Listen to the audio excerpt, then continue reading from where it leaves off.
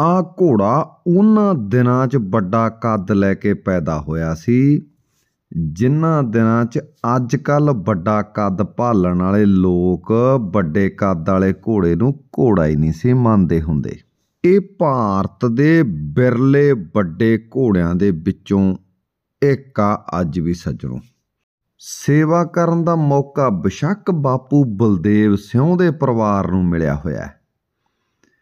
ਪਰ ਇਹਦਾ ਨਾਂ ਪਿੰਡ ਦੇ ਨਾਂ ਇਸ ਹਿਸਾਬ ਨਾਲ ਜੁੜ ਗਿਆ ਵੀ ਜੇ ਤਾਂ ਕੋਈ ਗੱਲ ਬਾਜ ਦੀ ਕਰੇ ਤਾਂ ਮੇਰੇ ਵਰਗਾ ਮੂਹਰੋਂ ਪੁੱਛ ਲੈਂਦਾ ਭਾਦਲੇ ਵਾਲਾ ਬਾਜ। ਤੇ ਜੇ ਕੋਈ ਗੱਲ ਬੈਠਾ ਬੈਠਾ ਚਾਰ ਬੰਦਿਆਂ ਦੇ ਵਿੱਚ ਭਾਦਲੇ ਪਿੰਡ ਦੀ ਕਰੇ ਤਾਂ ਲੋਕ ਕਹਿੰਦੇ ਆ ਬਾਜ ਵਾਲਾ ਭਾਦਲਾ। ਮਤਲਬ ਦੋਨੇ ਇੱਕ ਮਿਕ ਹੋਏ ਪਏ ਆ। ਪਿੰਡ ਦੇ ਲੋਕ ਇਸ ਘੋੜੇ ਨੂੰ ਆਪਦੇ ਪਿੰਡ ਦੀ ਪਹਿਚਾਣ ਦੇ ਤੌਰ ਤੇ ਦੇਖਦੇ ਆ।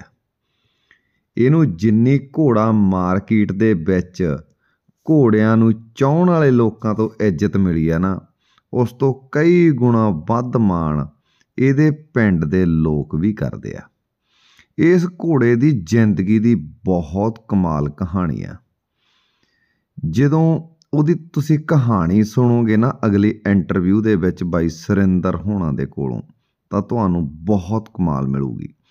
ਇਹ ਪਰਿਵਾਰ ਇਸ ਘੋੜੇ ਨੂੰ ਦੇਵਤਾ ਮੰਨਦਾ ਹੈ, ਭਗਵਾਨ ਮੰਨਦਾ ਹੈ, ਭਰਾ ਮੰਨਦਾ ਹੈ, ਆਪਣਾ ਦੋਸਤ ਮੰਨਦਾ ਹੈ ਤੇ ਬੜਾ ਕੁਝ ਹੋਰ ਵੀ ਮੰਨਦਾ ਹੈ। ਉਹ ਵੀ ਤੁਹਾਨੂੰ ਦਿਖਾਵਾਂਗੇ। ਪਰ ਗੱਲ ਇਕੱਲੀ ਮੰਨਣ ਦੀ ਤੇ ਸ਼ਰਧਾ ਦੀ ਨਹੀਂ ਸੱਜਣੋ, ਇਸ ਘੋੜੇ ਨੇ ਸਾਬਤ ਵੀ ਕੀਤਾ ਬਹੁਤ ਕਮਾਲ ਬੱਚੇ ਪੈਦਾ ਕੀਤੇ ਇਸ ਘੋੜੇ ਨੇ। ਪਹਿਲੀਆਂ ਦੇ ਵਿੱਚ ਨਾ ਮੈਂ ਤੁਹਾਨੂੰ ਪਹਿਲਾਂ ਵੀ ਕਹਿ ਕੇ ਹਟਿਆ ਕਿ ਜਦੋਂ ਘੋੜਾ ਮਾਰਕੀਟ ਬਾਲੇ ਵੱਡੇ ਕੱਦ ਵਾਲੇ ਘੋੜੇ ਨੂੰ ਘੋੜਾ ਹੀ ਨਹੀਂ ਸੀ ਮੰਨਦੀ ਨਾ, ਤੇ ਉਦੋਂ ਇਹਦੇ ਕੋਲੇ ਛੋਟੀਆਂ-ਛੋਟੀਆਂ ਘੋੜੀਆਂ ਆਉਂਦੀਆਂ ਹੁੰਦੀਆਂ ਸੀ 58 ਇੰਚ ਦੀਆਂ 57 ਇੰਚ ਦੀਆਂ। ਉਹਨਾਂ ਘੋੜੀਆਂ ਤੋਂ ਹੀ ਇਹਨੇ ਕਮਾਲ ਕਮਾਲ ਦੇ ਵੱਡੇ ਵੱਡੇ ਬੱਚੇ ਪੈਦਾ ਕਰਤੇ। ਤੇ ਅੱਜ ਕੱਲ ਤਾਂ ਹੁਣ ਘੋੜਾ ਮਾਰਕੀਟ ਦੇ ਵਿੱਚ ਇਸ ਘੋੜੇ ਦਾ ਬਹੁਤ ਵੱਡਾ ਨਾਂ ਚਲਿਆ ਗਿਆ। ਅੱਜ ਕੱਲ ਤਾਂ ਹੁਣ ਮਾਲਕ ਦੀ ਕਿਰਪਾ ਨਾਲ ਇਹਦੇ ਕੋਲੇ ਘੋੜੀਆਂ ਬਹੁਤ ਵੱਡੀਆਂ ਵੱਡੀਆਂ ਪੂਰੇ ਇੰਡੀਆ ਦੇ ਹਰੇਕ ਕੋਨੇ ਤੋਂ ਪਹੁੰਚਦੀਆਂ। ਤੇ ਅੱਜ ਕੱਲ ਇਹਦੇ ਜਿਹੜੇ ਬੱਚੇ ਆ, ਉਹ ਵੀ ਘੋੜਾ ਮਾਰਕੀਟ ਦੇ ਵਿੱਚ ਆਪਣਾ ਨਾਮ, ਆਪਣਾ ਰਤਬਾ, ਆਪਣਾ ਰੋਬ ਆ ਜਿਹੜਾ, ਉਹ ਬਣਾਉਣਾ ਸਟਾਰਟ ਕਰ ਚੁੱਕੇ ਆ।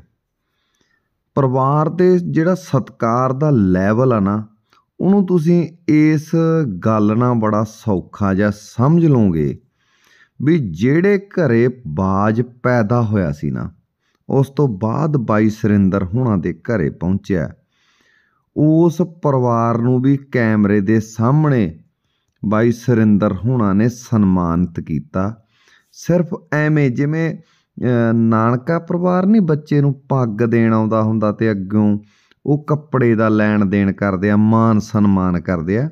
ਬਿਲਕੁਲ ਐਵੇਂ ਦੀ ਰਸਮ ਆ ਜਿਹੜੀ ਉਹ ਕੈਮਰੇ ਦੇ ਸਾਹਮਣੇ ਕੀਤੀ ਸਿਰਫ ਇਸ ਕਰਕੇ ਕਿ ਜਿਹੜਾ ਇਹ ਬਾਜ ਆ, ਉਹ ਜਿਹੜੇ ਪਰਿਵਾਰ ਦੇ ਘਰੇ ਪੈਦਾ ਹੋਇਆ, ਇਹ ਦੇਵਤਾ, ਜਿਨੇ ਬਾਈ ਸੁਰਿੰਦਰ ਹੋਣਾ ਨੂੰ, ਬਾਈ ਗੁਰਪ੍ਰੀਤ ਹੋਣਾ ਨੂੰ, ਬਾਪੂ ਬਲਦੇਵ ਸਿੰਘ ਹੋਣਾ ਨੂੰ ਐਡਾ ਮਾਣ ਦਵਾਇਆ ਦੁਨੀਆ ਦੇ ਵਿੱਚ ਉਹ ਘੋੜਾ ਜਿਨ੍ਹਾਂ ਦੇ ਘਰੇ ਪੈਦਾ ਹੋਇਆ, ਉਹਨਾਂ ਨੂੰ ਇੱਜ਼ਤ ਦੇਣੀ ਚਾਹੀਦੀ ਹੈ। ਇਹ ਬਹੁਤ ਇੱਕ ਬਲਖਣ ਇਸ ਦੀ ਜ਼ਿੰਦਗੀ ਦੀ ਬਾਜ ਦੀ ਕਹਾਣੀ ਆ। ਤੁਹਾਨੂੰ ਉਹ ਵੀ ਦੱਸਾਂਗੇ ਕਿ ਬਾਜ ਕਿਵੇਂ ਕਿਵੇਂ, ਕਿੱਧਰੋਂ ਕਿੱਧਰੋਂ ਚੱਲਿਆ, ਕਿੱਧਰ ਕਿੱਧਰ ਦੀ ਹੁੰਦਾ ਹੋਇਆ ਇਸ ਪਰਿਵਾਰ ਦੇ ਕੋਲ ਆਇਆ। ਤੇ ਅੱਜ ਬਾਪੂ ਬਲਦੇਵ ਸਿੰਘ ਹੁਣੀ ਬੜਾ ਮਾਣ ਕਰਦੇ ਆ, ਇਹਨੂੰ ਆਪਣਾ ਪੁੱਤ ਮੰਨਦੇ ਆ।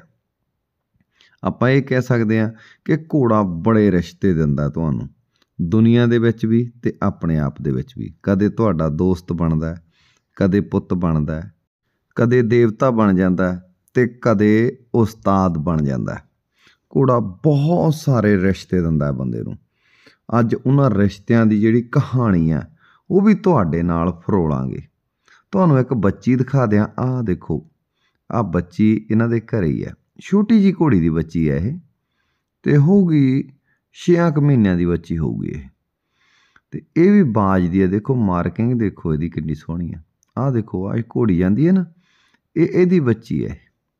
ਤੇ ਦੇਖੋ ਚਿੱਡੀ ਇਹ ਘੋੜੀ ਆ ਨਾ, ਤੇ ਏਡੀ ਕਿ ਇਹ ਛਿਆਂ ਕੁ ਮਹੀਨਿਆਂ ਦੀ, ਮੈਨੂੰ ਪੱਕਾ ਨਹੀਂ ਪਤਾ, ਪਰ ਮੈਨੂੰ ਅੰਦਾਜ਼ਾ ਜਿਹਾ ਹੈ ਕਿ ਜਦੋਂ ਮੈਂ ਪਿਛਲੀ ਵੀਡੀਓ ਕਰਕੇ ਆਇਆ ਸੀ, ਉਦੋਂ ਇਹ 5-4 ਦਿਨਾਂ ਦੀ ਸੀ, ਉਸ ਹਿਸਾਬ ਨਾਲ ਇਹ 6 ਮਹੀਨਿਆਂ ਦੀ ਬੱਚੀ ਹੈ ਅਤੇ ਇਹ ਦੇਖੋ ਘੋੜੀ ਜਿੱਡੀ ਹੋਈ ਪਈ ਹੈ ਮਾਲਕ ਦੀ ਕਿਰਪਾ ਨਾਲ ਇਹਦੇ ਬੱਚੇ ਬਹੁਤ ਚੰਗਾ ਅੱਜ ਕੱਲ੍ਹ ਰੁਤਬਾ ਬਣਾ ਰਹੇ ਆ।